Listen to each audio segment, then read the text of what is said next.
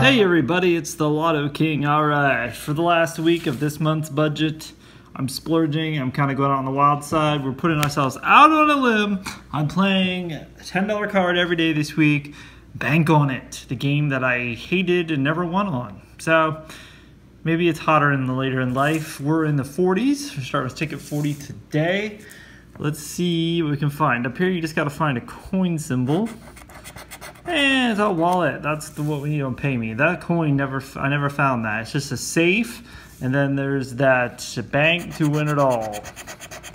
Let's see what happens. I'm kind of curious to see if there's anything to this game. I kind of always liked it, but I never won anything. All right, that 40 up top. 16, 62, 25, 14, 40.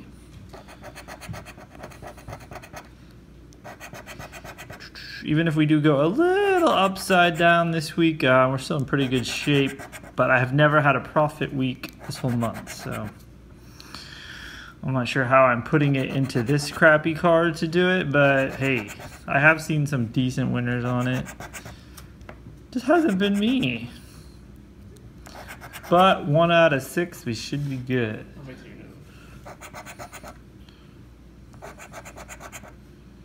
Got a four, got a 39, a 28, and a 5. All right, well, number one's a loser. Ticket 40 is a loser. Come back tomorrow. We'll move on to ticket 41 and see if we can find a winner. Until next time, I'll see you then. Later.